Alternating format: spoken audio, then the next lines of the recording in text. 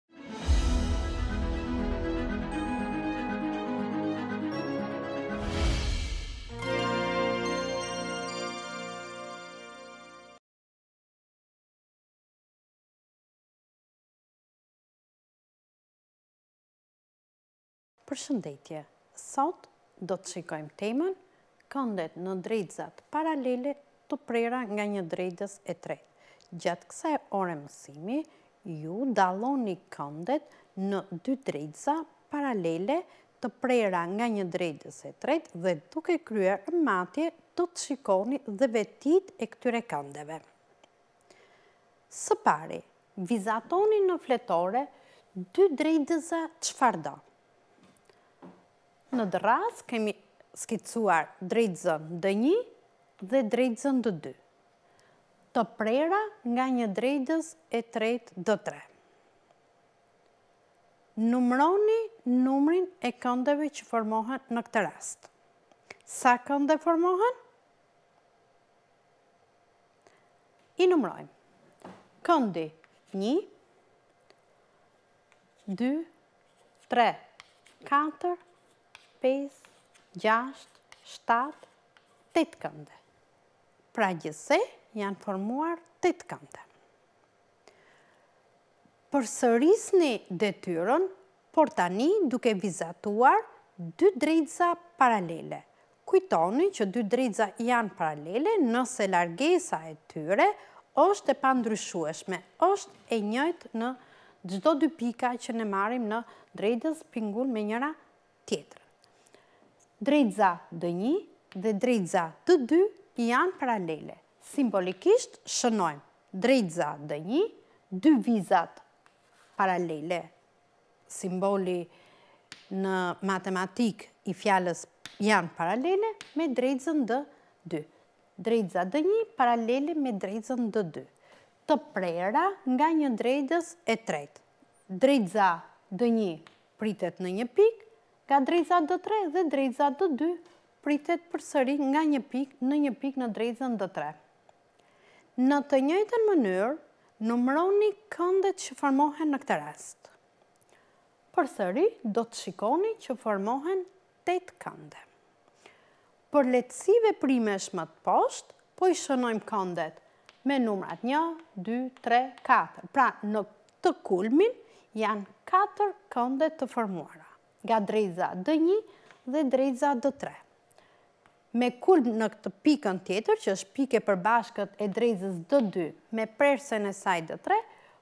përsëri janë formuar katër kënde. Gjithsej janë formuar tetë kënde.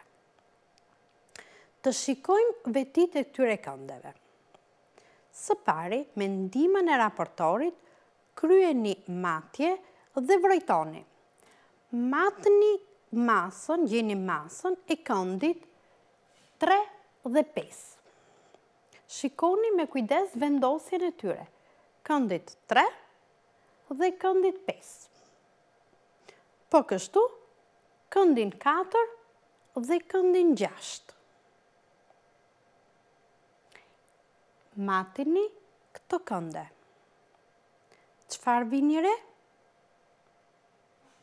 Po kështu, vazhdoni matjen e këtyre këndeve. Këndi një,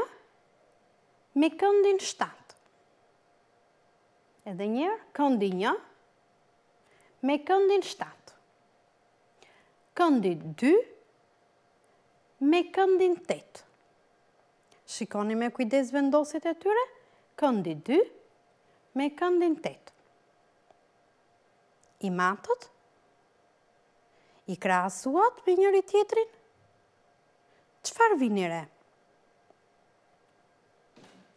Nëse do të kryeni me kujdes matjet, do të vini re që këndi 3 dhe këndi 5 kanë të njëjtën masë. Këndi 4 dhe këndi 6 përsëri kanë të njëjtën masë. Këto kënde quhen kënde ndërrues të brendshëm. Do të thotë, këndi katër dhe këndi gjashtë janë kënde ndërrues të brendshëm. Janë kënde të barabartë, pra kanë të njëjtën masë. Këndi tre dhe këndi pesë përsëri janë kënde ndërrues të brendshëm. Masa e tyre përsëri është e njëjtë. Po kështu. Nëse matët me kujdes njish këndin një dhe këndin shtatë, përsëri vutë re që këndi një dhe këndi shtatë kanë të njëjtën masë, këndi dy dhe këndi tetë përsëri kanë të njëjtën masë. Këto kënde quhen kënde ndërrues të jashtëm. Këndi një dhe këndi shtatë janë kënde ndërrues të jashtëm dhe kanë të njëjtën masë. Këndi dy dhe këndi tetë përsëri janë kënde ndërrues të jashtëm edhe këto kanë të njëjtën masë. Pra lloj i parë i këndeve që formohen në dy drejtëza paralele të prera me një të tretë janë këndet ndërrues. Ku do të dalloni? këndet ndërrues të brendshëm, katra me gjashtën dhe treshi me pesën, si dhe këndet ndërrues të jashtëm, njëshi me këndin shtatë dhe dyshi me këndin tetë. Vetia e këndeve të ndërrues të jashtëm dhe të brendshëm është që ato janë dy nga dy të barabarta. Vazhdojmë matjet. Masni këndin një dhe këndin 5, të cilën e keni matur dhe në rastin e parë, pra këndin një dhe këndin 5. Krahasoni masat e tyre. Vazhdoni matjet me këndin 3 dhe këndin 7.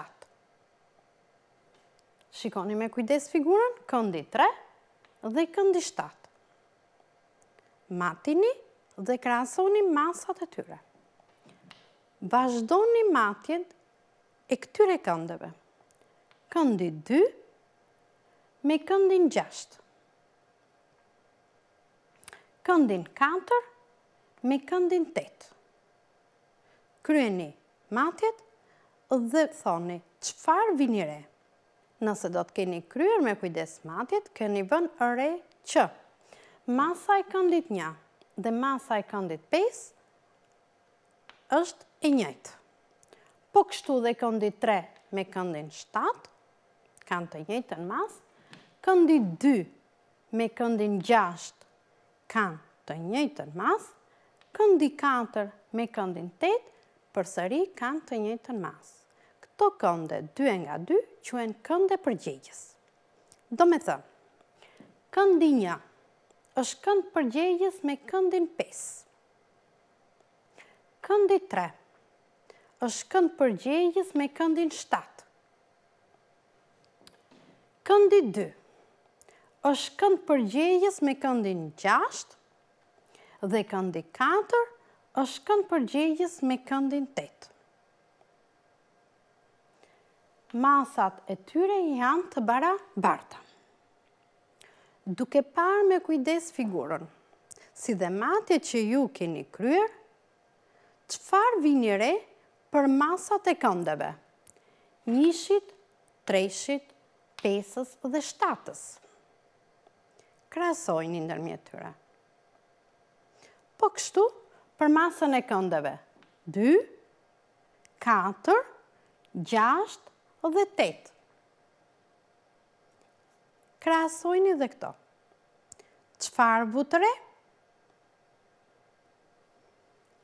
Po të shikoni me kujdes, masat e të katër këtyre këndeve, njëshit, treshit, pesës dhe shtatës, janë të barabarta ndërmjet tyre. Po kështu edhe masa e këndeve 2, 4, 6 dhe 8, përsëri janë barabarta ndërmjet tyre.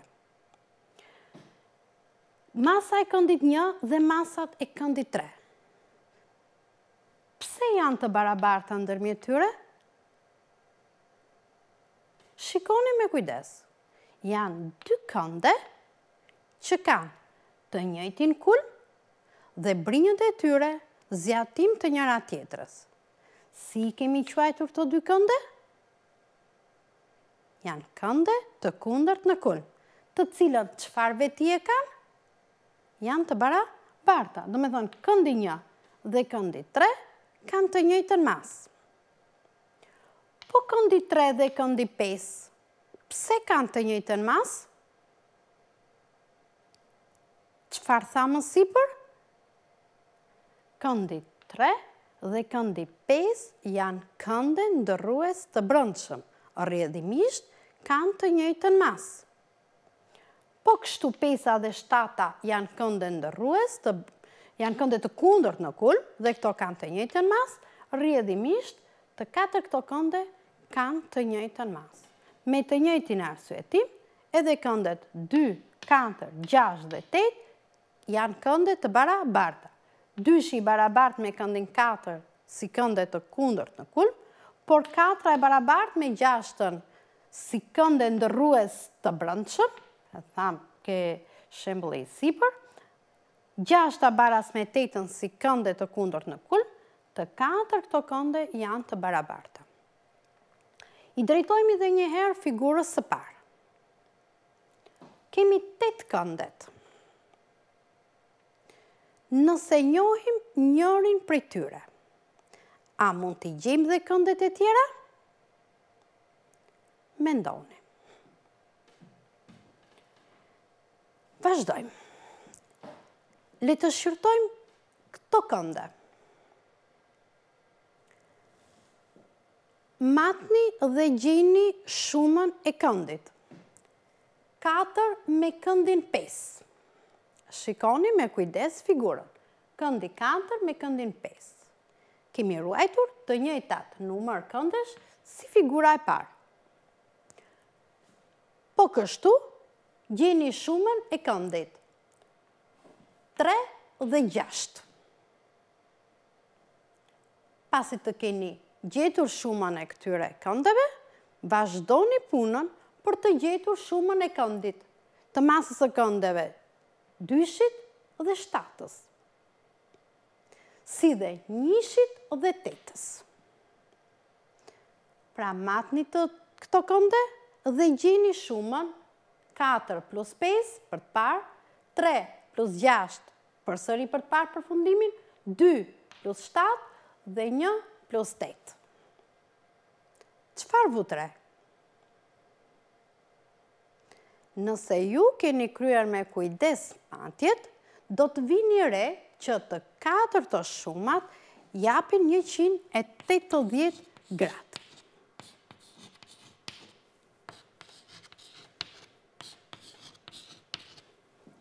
E kanë shumën 180 gradë.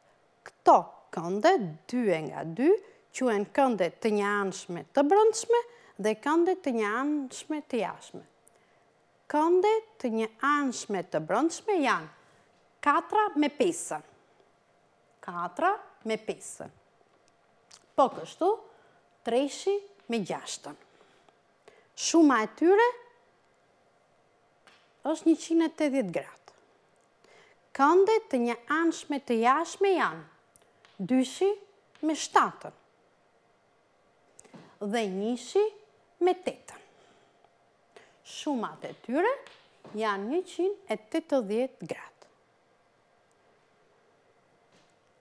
Këto janë llojet e këndeve që formohen në dy drejtëza paralele të prera nga një e tretë. Pra janë këndet ndërrues të brendshëm dhe të jashtëm, të cilat janë dy e nga dy të barabarta, janë këndet përgjegjës, njëshi me pesën, treshi me shtatën, dyshi me gjashtën, katër me tetën, të cilat përsëri këto janë dy e nga dy të barabarta dhe njëkohësisht treguat që të katër këndet këtu janë barabarta dhe të katër këto këndet këtu janë të barabarta. Njëkohësisht janë dhe këndet e njëanshme, të brendshme dhe të jashtme.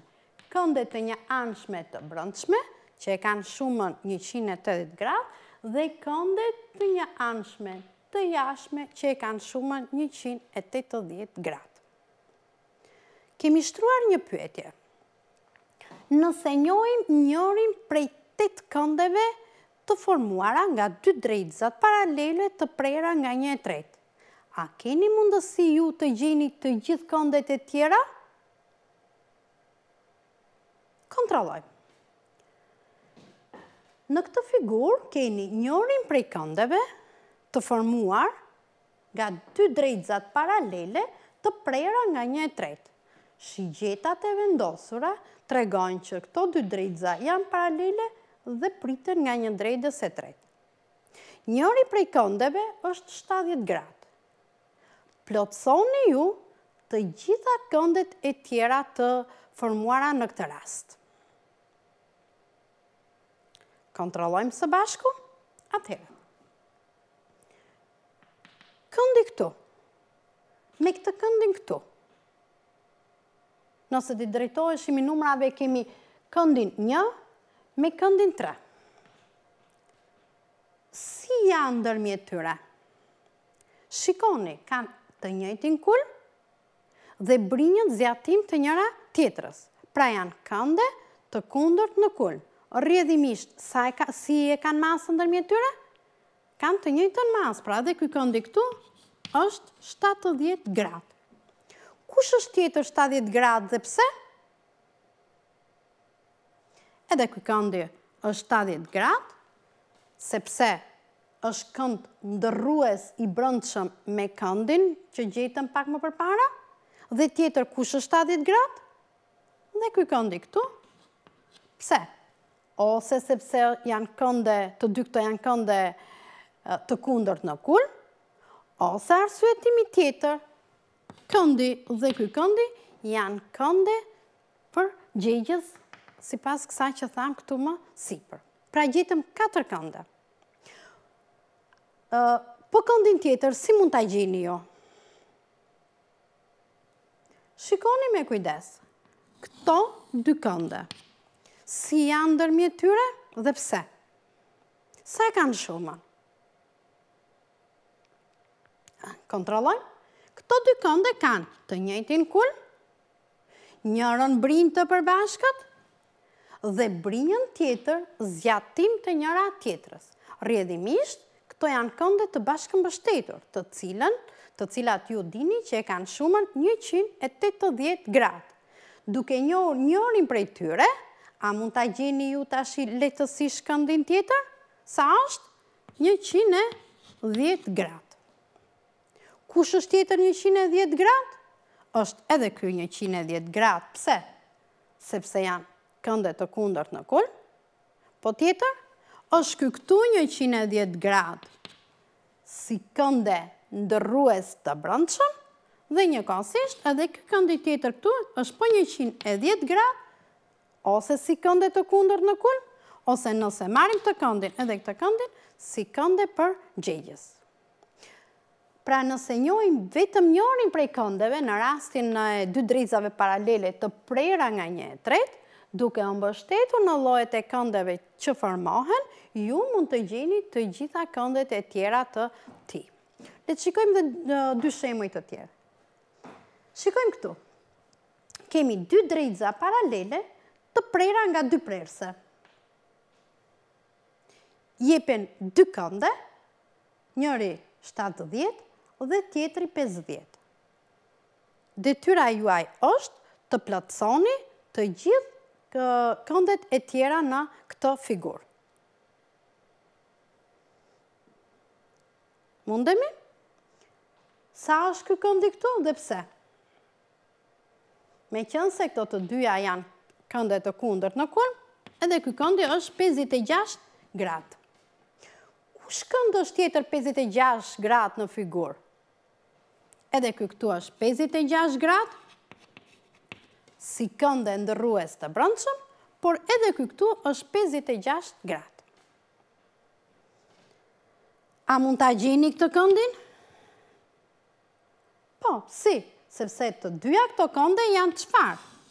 Kënde të bashkëmbështetur, që e kanë shumën 180 gradë. Dhe nëse nga 180-a hiqni 56 gradë që është njëri, këndi është 124 gradë.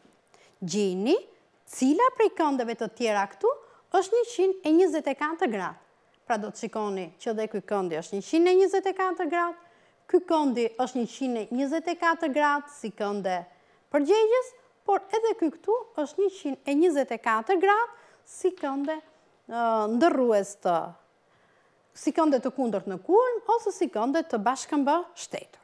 Në të njëjtën mënyrë, ju mund të gjeni edhe të gjitha këto këndet e tjera duke ditur që njëri prej tyre është shtatëdhjetë gradë. Si fillim mund të gjeni këndin këtu që është njëqind e dhjetë gradë dhe më pas të plotësoni në figurë këndet e tjera.